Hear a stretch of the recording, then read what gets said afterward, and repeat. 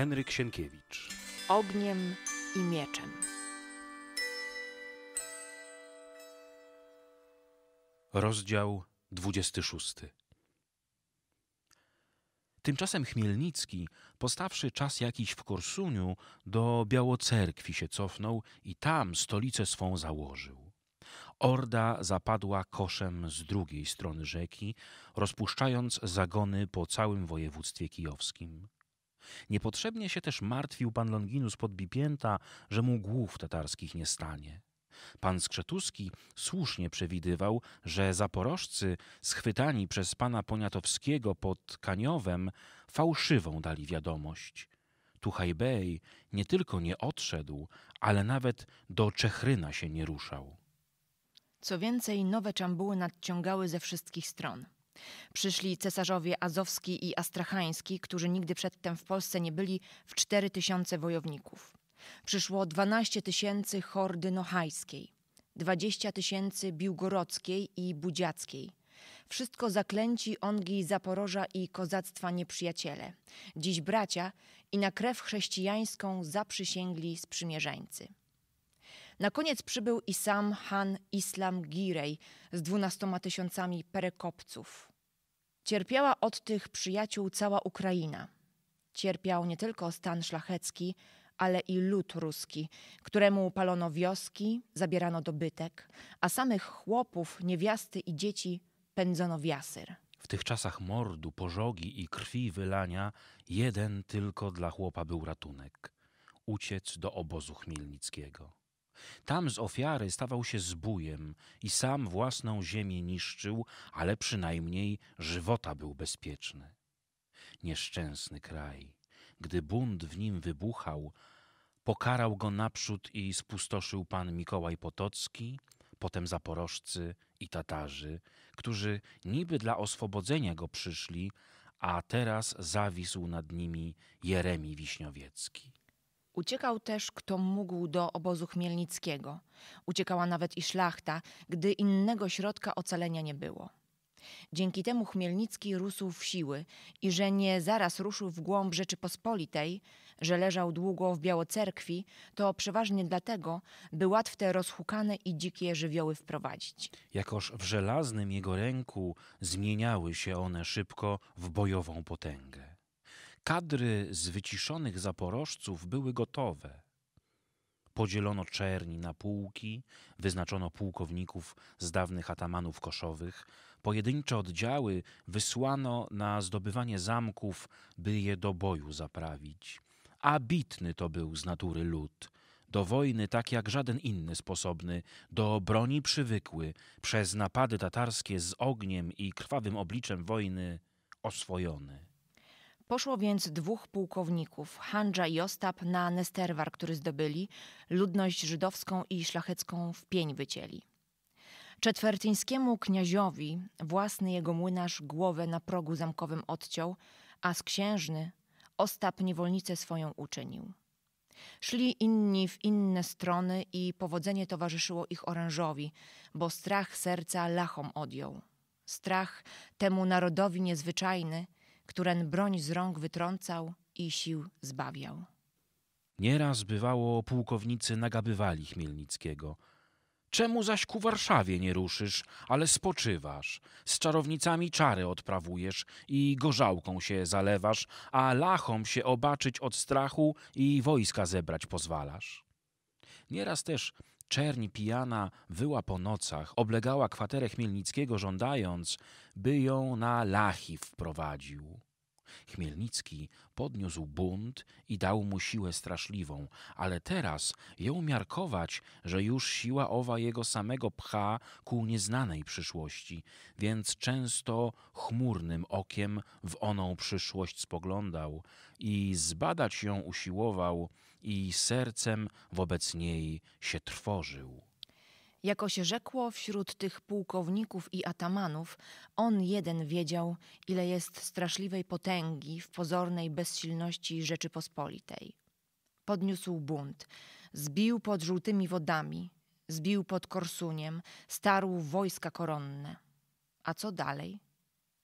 Zbierał tedy pułkowników do rady i wodząc po nich krwawymi oczyma, przed którymi drżeli wszyscy, stawiał im ponuro tożsamo pytanie.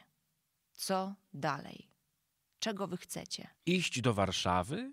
To tu kniaź Wiśniowiecki przyjdzie, żony i dzieci wasze jako piorun pobije, ziemię, a wodę tylko zostawi, a potem i on za nami do Warszawy z całą potęgą szlachecką, która się do niego przyłączy, pociągnie.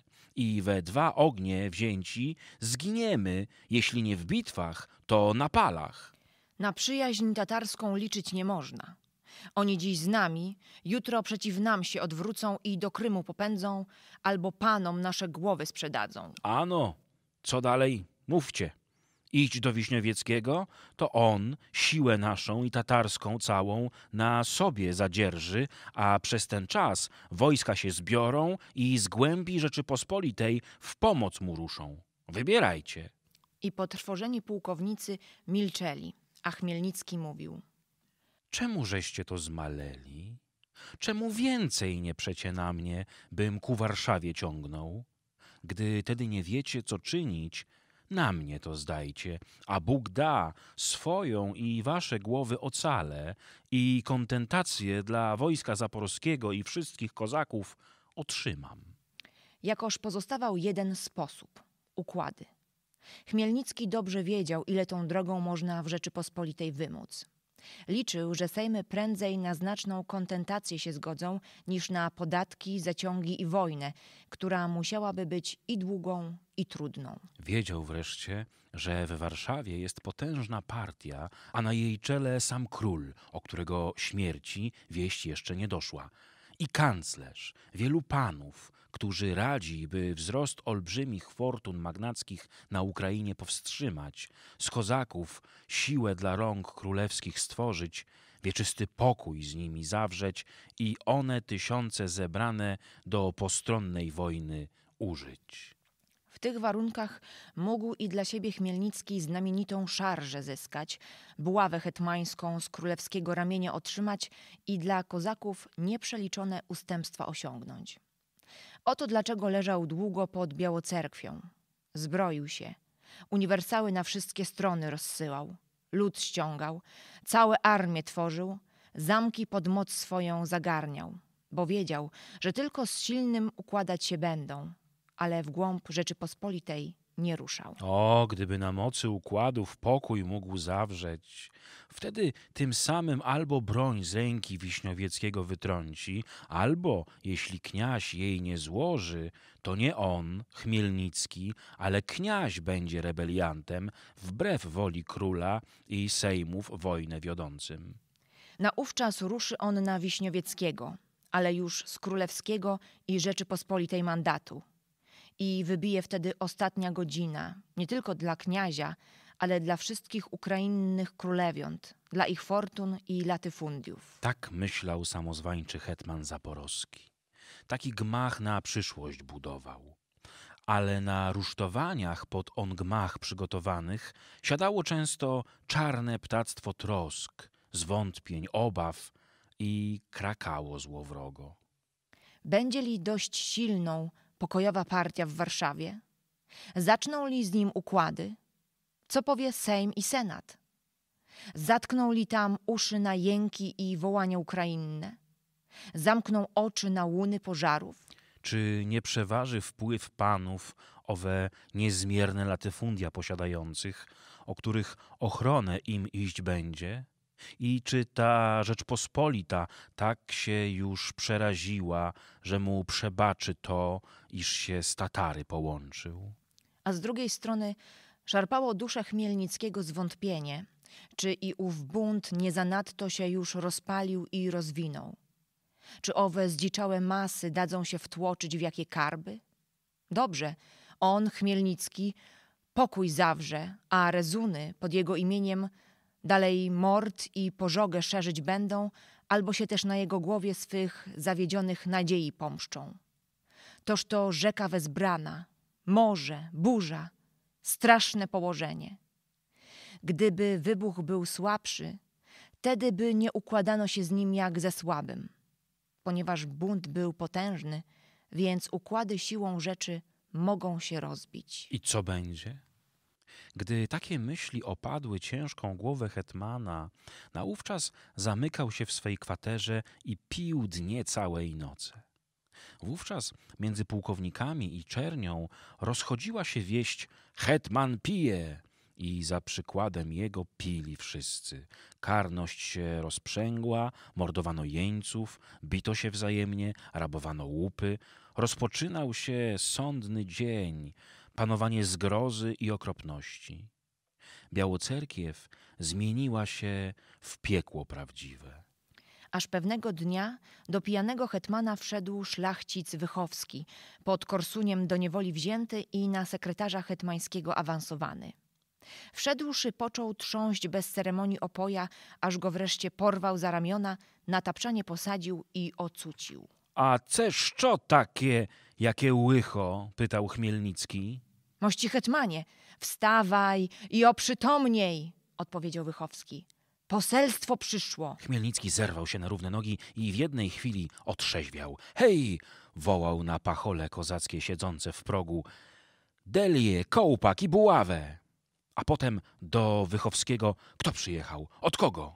Ksiądz patroni łasko z Huszczy od pana wojewody Bracławskiego. Od pana Kisiela? Tak jest. Sława Otcu i Synu, sława Światomu Duchu i Światoj Preczystoj, mówił żegnając się Chmielnicki. I twarz mu pojaśniała, wypogodziła się, rozpoczynano z nim układy. Ale tegoż dnia przyszły i wieści wprost przeciwne pokojowemu poselstwu pana Kisiela. Doniesiono, iż książę wypocząć dawszy wojsku strudzonemu pochodem przez lasy i błota, wstąpił w kraj zbuntowany, że bije, pali, ścina, że podjazd wysłany pod Skrzetuskim rozbił dwutysięczną watachę kozaków i czerni i wytępił ją co do nogi, że sam książę wziął szturmem pochrebyszcze, majętność książąt z baraskich i ziemię, a wodę tylko zostawił. Opowiadano przerażające rzeczy o tym szturmie i zdobyciu pochrebyszcz. Było to bowiem gniazdo najzaciętszych rezunów. Książę miał powiedzieć do żołnierzy: Mordujcie ich tak, by czuli, że umierają. Więc też żołnierstwo najdzikszych dopuszczało się okrucieństw. Z całego miasta nie ocalała jedna żywa dusza. Siedmiuset jeńców powieszono, dwustu wbito na pale. Mówiono również o wierceniu oczu świdrami, o paleniu na wolnym ogniu. Bunt zgasł od razu w całej okolicy. Mieszkańcy albo pouciekali do Chmielnickiego, albo przyjmowali pana Łubniańskiego na klęczkach, z chlebem i solą, wyjąc o miłosierdzie. Pomniejsze watachy wszystkie były starte, a w lasach, jak twierdzili zbiegowie z Samchorodka, Spiczyna, Pleskowa i Wachnówki, nie było jednego drzewa, na którym by kozak nie wisiał. I działo się to wszystko pod bokiem Białocerkwi i krociowej armii Chmielnickiego. To też Chmielnicki, gdy się o tym dowiedział, począł ryczeć jak ranny tur. Z jednej strony układy, z drugiej miecz. Jeśli ruszy na księcia, będzie to oznaką, że nie chce układów proponowanych przez pana z Brusiłowa. Jedyna nadzieja pozostawała w Tatarach. Chmielnicki zerwał się i ruszył do Tuchajbejowej kwatery. Tuchajbeju, mój przyjacielu, rzekł po oddaniu zwykłych salamów. Jakoś mnie pod żółtą wodą i pod korsuniem ratował, tak i teraz mnie ratuj. Przyszedł tu poseł od wojewody bracławskiego z pismem, w którym mnie wojewoda obiecuje kontentację, a wojsku zaporowskiemu powrócenie do dawnych swobód pod warunkiem, żebym wojny zaprzestał, co ja uczynić muszę, chcąc swoją szczerość i dobrą chęć pokazać. A tymczasem przyszły tu wieści od niedruga mojego, księcia Wiśniowieckiego, że pochrebyszcze wyciął i nikogo nie żywił i dobrych mołojców moich wycina, na pale wbija i świdrami oczy wierci na którego ja ruszyć nie mogąc, do ciebie z pokłonem przyszedłem, abyś ty na tego mojego i swojego niedruga z Tatary ruszył, gdyż inaczej wkrótce on tu na nasze obozy nastąpi. Murza, siedząc na kupie kobierców pobranych pod korsuniem lub złupionych po dworach szlacheckich, kiwał się czas jakiś w tył i naprzód. Oczy zamrużył jakby dla lepszego namysłu, nareszcie odrzekł. Ała! Ja tego uczynić nie mogę, Czemu? pytał Chmielnicki. bom i tak już dosyć dla ciebie bejów i czałsów pod żółtą wodą i pod korsuniem wytrącił. Po cóż nam jeszcze tracić? Jarema to wielki wojownik. Ruszę na niego, gdy i ty ruszysz, ale sam nie. Nie głupim w jednej bitwie wszystko, com dotąd zyskał utracić. Lepiej mi czambuły pod łup i jasyr wysyłać. Dosyć ja już dla was, psów niewiernych, uczynił. I sam nie pójdę i Hanowi będę odradzał. Rzekłem. Pomoc mi zaprzysiągłeś. Tak jest, alem przysięgał obok ciebie. Nie za ciebie wojować. Idźże ty precz. Jam ci jasyr z mego własnego ludu pozwolił, łupy oddał, hetmanów oddał. Bo gdybyś nie oddał, to bym ja ciebie im oddał. Do Hana pójdę. Idźże precz, capie, mówię ci. I kończaste zęby Murzy już zaczęły błyskać spod warg. Chmielnicki poznał, że nie ma co tu robić, a dłużej nastawać niebezpiecznie, więc wstał i rzeczywiście udał się do Hana. Ale od Hana takąż samą odebrał odpowiedź. Tatarzy mieli swój rozum i szukali własnej korzyści. Zamiast ważyć się na walną bitwę z wodzem, który za niezwyciężonego uchodził, woleli zagony rozpuszczać i bogacić się bez krwi przelewu. Chmielnicki wrócił wściekły do swojej kwatery i z desperacji już do gąsiora się zabierał, ale mu go Wychowski wyrwał z ręki. Nie będziesz pił mości hetmanie, rzekł. Poseł jest, trzeba posła odprawić. Chmielnicki wpadł w gniew straszliwy. Ja ciebie i posła każę na pal wbić. Ja ci gorzałki nie dam. Nie wstydź ci, gdy cię fortuna tak wysoko wyniosła, wódką się jak prostemu kozakowi zalewać? Tfu! Tfu, mości hetmanie, nie może tak być. Wieść o przybyciu posła już się rozeszła. Wojsko i pułkownicy chcą na radę. Tobie nie pić teraz, ale kuć żelazo póki gorące. Bo teraz możesz pokój zawrzeć i wszystko, co chcesz otrzymać. Potem będzie za późno, a gardło moje i twoje w tym. Wysłać tobie zaraz poselstwo do Warszawy i króla o łaskę prosić. Mądra ty głowa, rzekł Chmielnicki. Każ uderzyć w dzwon na radę, a na Majdanie powiedz pułkownikom, że zaraz wyjdę. Wychowski wyszedł, a po chwili ozwał się dzwon na radę, na którego głos wnet wojska zaporowskie poczęły się zbierać. Zasiedli więc dowódcy i pułkownicy. Straszliwy Krzywonos, prawa Chmielnickiego ręka, Krzeczowski, miecz kozacki, stary i doświadczony Filon Dziedziała, pułkownik Kropiwnicki Fedor Łoboda Perejasławski, okrutny Fedoreńko Kalnicki, dziki Puszkareńko Połtawski, który samym czabanom przewodził, Szumejko Niżyński, ognisty Czarnota Chadziacki, Jakubowicz Czechryński, dalej Nosacz, Chłatki, Adamowicz, Głuch, Półjan, Panicz, nie wszyscy, bo niektórzy byli na wyprawach, a niektórzy na tamtym świecie, których już książę Jeremi tam wysłał. Tatarzy nie byli tym razem wezwani na naradę. Towarzystwo zebrało się obok na Majdanie. Cisnącą się czerń odpędzono kijami, a nawet kiścieniami, przy czym i zabójstw nie brakło. Na koniec ukazał się i sam Chmielnicki, przybrany w czerwień, w kołpak i z buławą w ręku.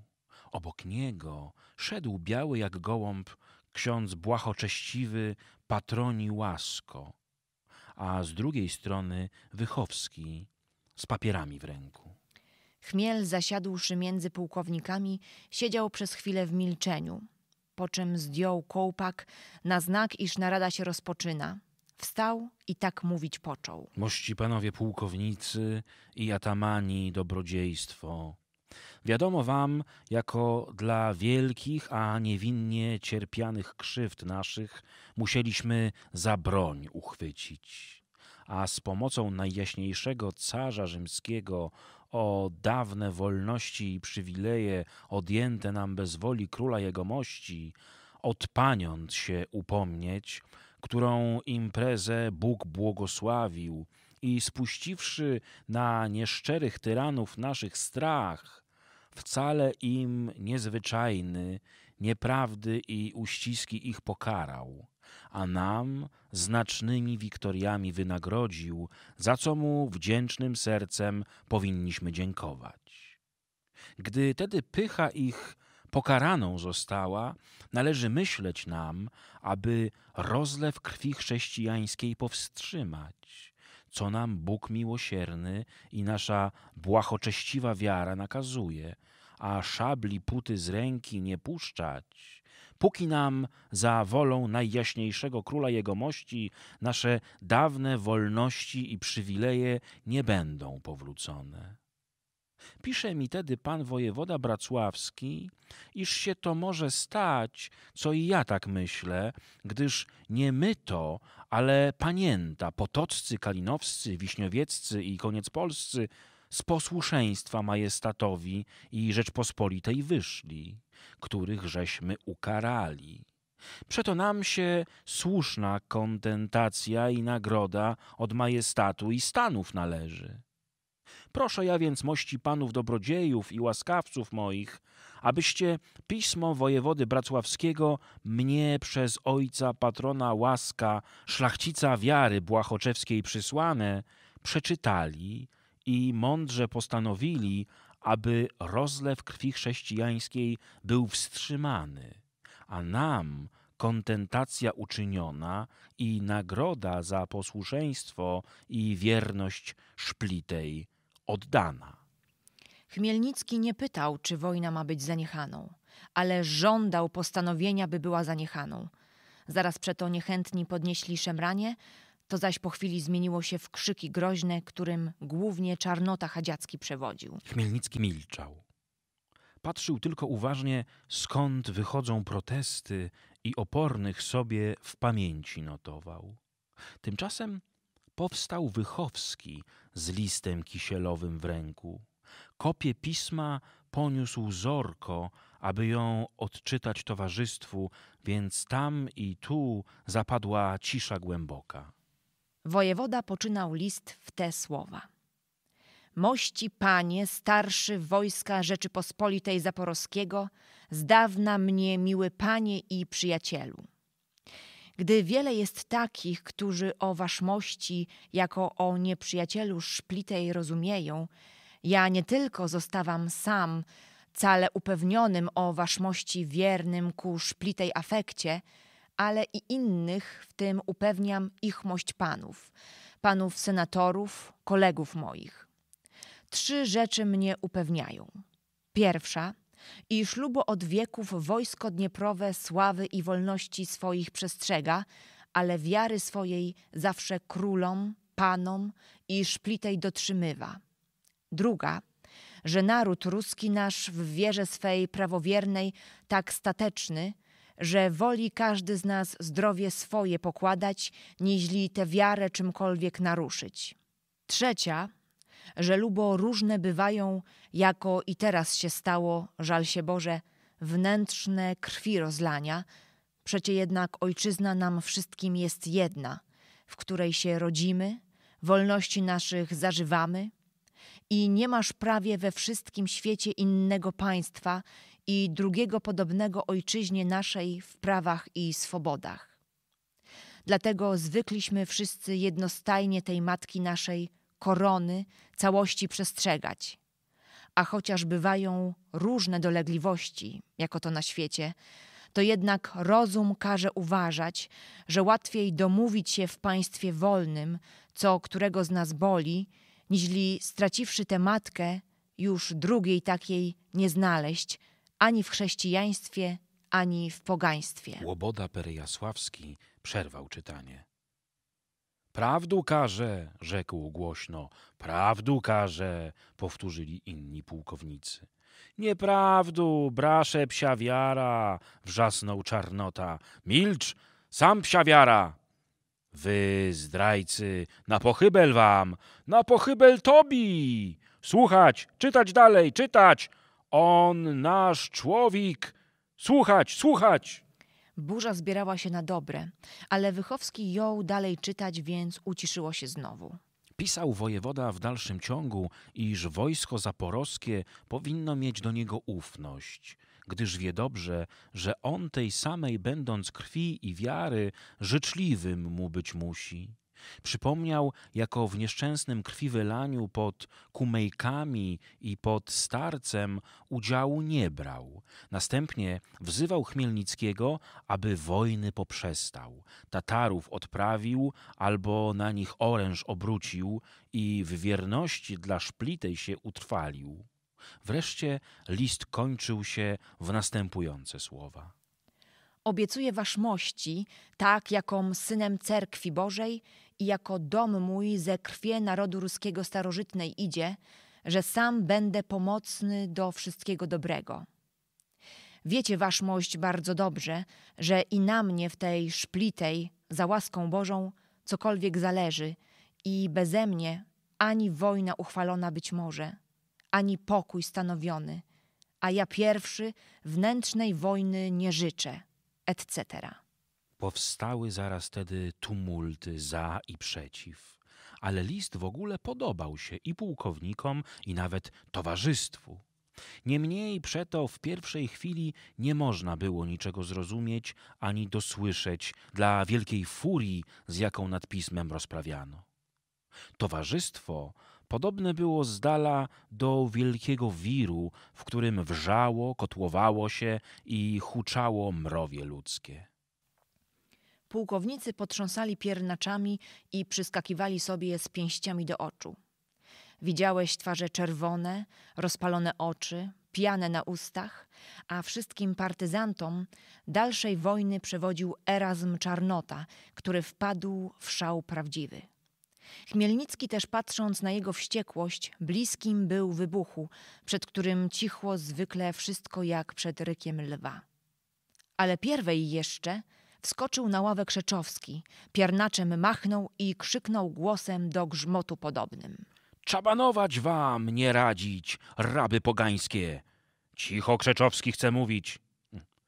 Cicho, Krzeczowski chce mówić, krzyknął pierwszy czarnota, który spodziewał się, iż przesławny pułkownik za wojną będzie przemawiał. Cicho, cicho, wrzeszczeli inni. Krzeczowski był niezmiernie szanowany między kozactwem, a to dla wielkich zasług, które oddał, dla wielkiej głowy wojennej i dziwna rzecz, dlatego iż był szlachcic. Uciszyło się więc zaraz i wszyscy czekali z cierpliwością, co powie. Sam Chmielnicki utkwił w niego wzrok niespokojny. Ale czarnota mylił się, przypuszczając, iż pułkownik za wojną wystąpi. Krzyczowski bystrym swym umysłem zrozumiał, iż teraz albo nigdy mógł uzyskać od szplitej owe starostwa i dostojeństwa, o których marzył. Odgadł, że przy pacyfikacji kozaków jego przed wielu innymi będą się starali ująć i zaspokoić, czemu pan krakowski, jako w niewoli będący, nie będzie mógł przeszkadzać, więc też odezwał się w takie słowa. Rzecz moja bić, nie radzić. Ale gdy do rady przyszło, poczułam się też do tego, abym swoje zdanie powiedział, gdyżem na taki wasz fawor, jak i inni, jeżeli nie lepiej zarobił. Po to my wojnę podniecili, aby nam nasze wolności i przywileje zostały zwrócone. A pisze wojewoda Bracławski, że tak być ma. Więc albo będzie, albo nie będzie. Jeśli nie będzie, tak wojna, a jeśli będzie, pokój. Po co darmo kreflać? Niech nas zaspokoją, a my czerń uspokoimy i wojna ustanie. Nasz Batko Chmielnicki mądrze to wszystko ułożył i obmyślił, aby my po stronie najjaśniejszego króla jego mości stanęli, które nagrodę za to nam da. A jeśli panięta się sprzeciwią, wtedy pozwoli nam z nimi pochulać. I pochulamy. Tego bym tylko nie radził, by Tatarów odprawiać. Niech koszem na dzikich polach zapadną i leżą, póki nam wóz lub przewóz. Chmielnicki rozjaśnił twarz, słysząc te słowa, a pułkownicy w ogromnej już większości poczęli wołać, by wojnę zawiesić i posłów do Warszawy wysłać, a pana z Brusikowa prosić, by sam dla układów przybył. Czarnota krzyczał jeszcze i protestował, ale pułkownik oczy groźne w niego utkwił i rzekł: Ty, Czarnota, chadziacki pułkowniku, o wojnę i krwi przelanie wołasz, a gdy pod Korsuniem szli na cię petychorcy pana Dmochowskiego, toś jak pitsywnok kwiczał. Braty, ridnyje, spasajte i uciekałeś przed całym twoim pułkiem. Łżesz! wrzasnął czarnota. Ja cię nie boję ni lachiw, ni ciebie! Krzeczowski piernacz w ręku ścisnął i ku czarnocie skoczył. Inni też poczęli pięściami okładać chadziackiego pułkownika. Tumult znowu począł się wzmagać. Na Majdanie towarzystwo ryczało jak stado dzikich żubrów. Wtem powstał znowu sam Chmielnicki. Mości panowie, pułkownicy, dobrodziejstwo, rzekł. Za czym ustanowiliście, aby posłów do Warszawy wysłać, którzy służby nasze wierne najjaśniejszemu królowi jego mości zalecą i o nagrodę prosić będą.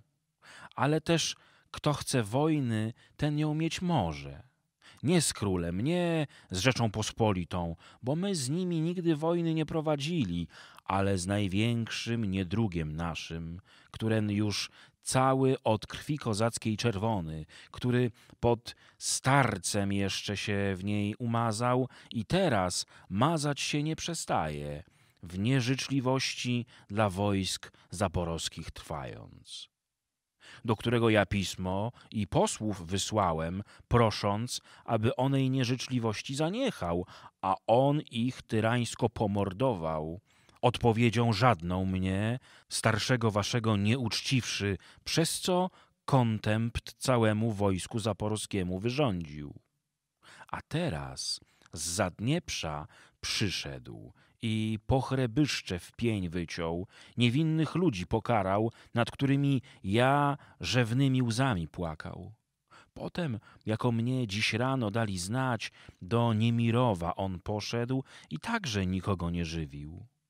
A gdy Tatarzy dla strachu i bojaźni ruszyć na niego nie chcą, tychło patrzeć, jak on tu przyjdzie, aby i nas, niewinnych ludzi, wygubić przeciw woli przychylnego nam najjaśniejszego króla jegomości i całej Rzeczypospolitej, bo on w pysze swej o nikogo nie dba, a jako się teraz buntuje, tak zawsze jest gotów przeciw woli jego królewskiej mości zbuntować. W zgromadzeniu zrobiło się bardzo cicho.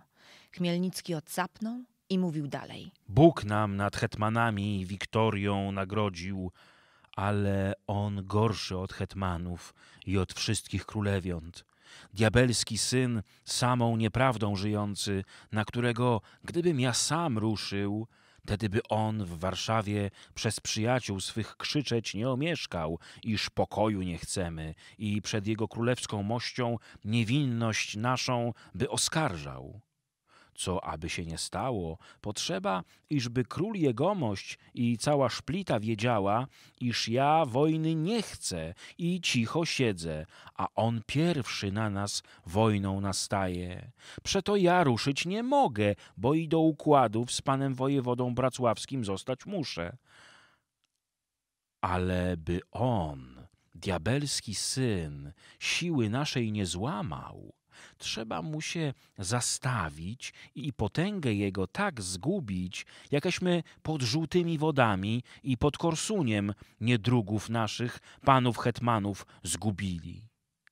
O to więc proszę, abyście waszmościowie na niego, na ochotnika ruszyli, a ja do króla jego mości pisać będę, iż to się stanie beze mnie i dla koniecznej obrony naszej przed jego, Wiśniowieckiego, nieżyczliwą napaścią. Głuche milczenie panowało w zgromadzeniu. Chmielnicki mówił dalej. Który tedy z waszmościów na ów przemysł wojenny wyjdzie, Tedy ja wojska dość dam, dobrych mołojców i armatę dam, i ludu ognistego, aby z pomocą Bożą niedruga naszego mógł znieść i wiktorię nad nim otrzymać. Ani jeden z pułkowników nie wysunął się naprzód. Sześćdziesiąt tysięcy wybranego komunika dam, rzekł Chmielnicki. Cisza. A przecież byli to wszystko nieustraszeni wojownicy, których okrzyki wojenne odbijały się nieraz o mury Carogrodu. I może właśnie dlatego każdy z nich obawiał się utracić zdobytej sławy w spotkaniu ze straszliwym Jeremim. Chmielnicki wodził oczyma po pułkownikach, którzy pod wpływem tego spojrzenia wzrok spuszczali ku ziemi. Twarz Wychowskiego przybrała wyraz szatańskiej złośliwości. Znam ja mołojca, rzekł posępnie Chmielnicki, któren by przemówił w tej chwili i od tej wyprawy się nie wybiegał. Ale go nie masz między nami. Bohun, rzekł jakiś głos. Tak jest. Zniósł on już regiment Jaremy w Wasiłówce. Jeno go poszczerbili w tej potrzebie i leży teraz w Czerkasach, ze śmiercią matką walczy, a gdy jego nie masz, nikogo nie masz, jak widzę. Gdzie sława kozacka? Gdzie Pawluki, nalewajki, łobody i ostranice? Wtem niski, gruby człowiek z twarzą siną, ponurą, rudym jak ogień wąsem nad skrzywionymi ustami i zielonymi oczyma powstał z ławy, wysunął się ku Chmielnickiemu i rzekł: Ja pójdę. Był to Maksym Krzywonos. Okrzyki zabrzmiały na sławu! On zaś wsparł się piernaczem w bok i tak mówił chrapliwym, urywanym głosem. Nie myśl, hetmanie, żebym ja się bał. Ja bym od razu się podjął, ale myślał, są lepsi. Ale kiedy tak, to pójdę. Wy co? Wy głowy i ręce, a u mnie nie ma głowy, tylko ręce a szabla. Raz maty rodyła. Wojna mnie mać i siostra. Wiśniowiecki reżet i ja budu. On wiszajet i ja budu. A ty mnie, hetmanie mołojców dobrych daj, bo czernią nie z Wiśniowieckim to poczynać. Tak i pójdę. Zamkiw dobuwaty, byty, rizaty, wiszaty. Na pochybel im, biłoruczkim. Drugi ataman wysunął się naprzód. Ja z toboju, Maksym!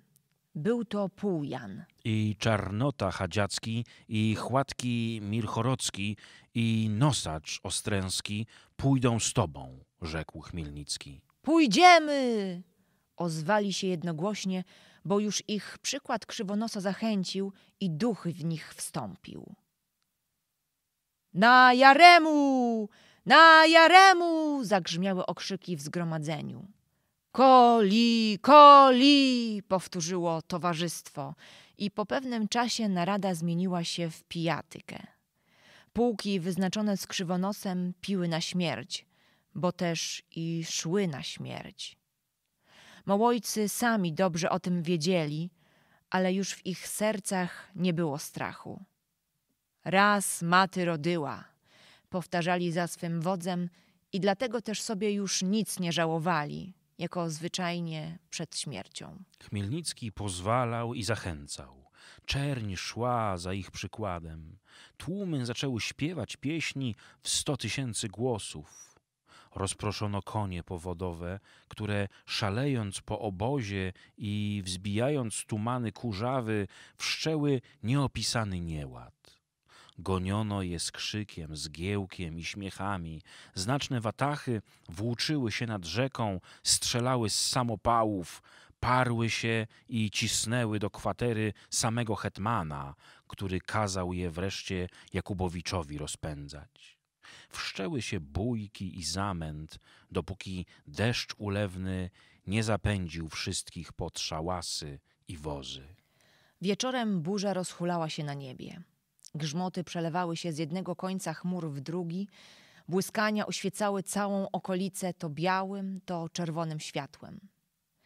Przy blaskach ich wyruszył z obozu krzywonos na czele sześćdziesięciu tysięcy co przedniejszych, wybranych wojowników i czerni.